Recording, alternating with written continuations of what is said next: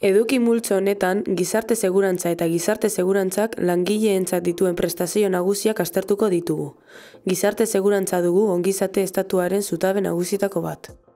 Gizarte segurantzarako eskubidea Espainiako konstituzioak berak arautzen du politika sozial eta ekonomikoaren printzipio gidarien artean. Izan ere, berrogeta bat garren artikuluan zedatzen denez, botere publikoek herritar guztientzako gizarte segurantzako erregimen publikoari eutzi behar diote.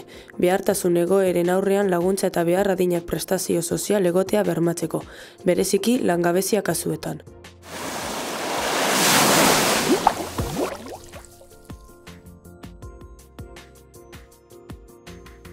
Bi babes maila zehazten dira.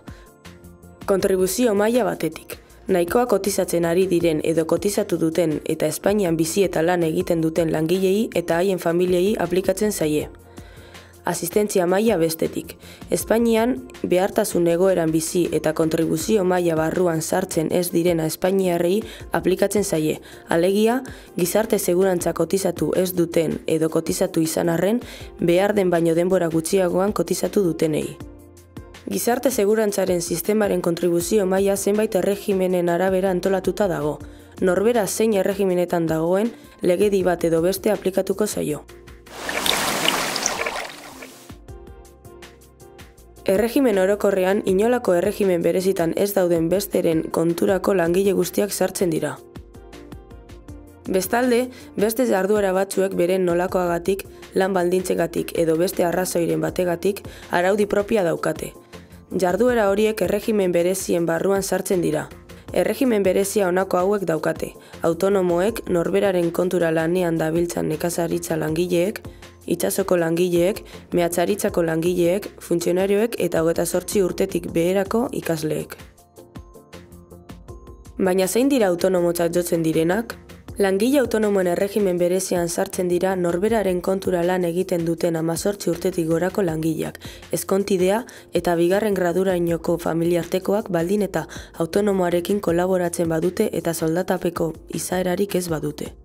Autonomoen erregimen berezian sartzen dira alaber, ondasun erkidegoetako bazkideak, sozietate kolektiboetako bazkide industrialak eta komanditarioetakoak. Kooperatibetako langileek erregimen orokorra edo autonomoena aukera dezakete.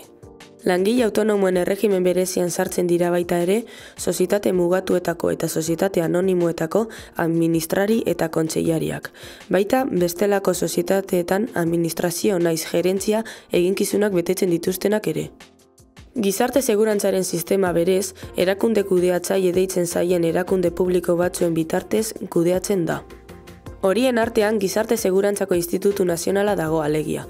Prestazio ekonomikoak jasotzeko eskubidea onartu eta horien ordainketa agintzen duen erakundea. Diru zaintza nagusiak berriz gizarte segurantzaren baliabide guztiak kudeatzen ditu, baita ordainketak, kotizazioak, afiliazioak, altak eta bajak ere. Enplegu zerbitzu publikoak berriz honako hauek kudeatzen ditu, langabezia prestazioak eta baita lan merkatuaren azterketa eta enplegu eskaintza eskaera eta kontratuen erregistro publikoa ere. Enplegu politika aktiboak autonomia arkidegoi transferituta daudenez gero, erkidego bakoitzak bere enplegu zerbitzu propioa dauka. Organo kudeatzaile hori ez gain, gizarte segurantzaren erakunde laguntzaileak ere badaude. Erakunde horiek laneko istripuen eta gaizotasun profesionalen mutuak dira, hau da, laneko istripuekin eta gaizotasun profesionalekin lotutako zerbitzuak kudea ditzaketen enpresari elkarteak.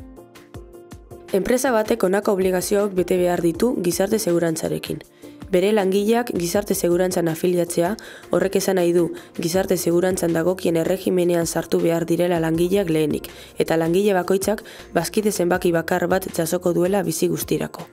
Gainera, enpresa batek langile bat kontratatzen duen aldiro, langile horri alta eman behar zaio gizarte segurantzan, eta lan jarduna amaitzen zaion aldiro berriz, baja eman behar zaio. Hau da, langile batek erregimen batean lan egiten duen lehenengo aldian afiliatu egin behar da.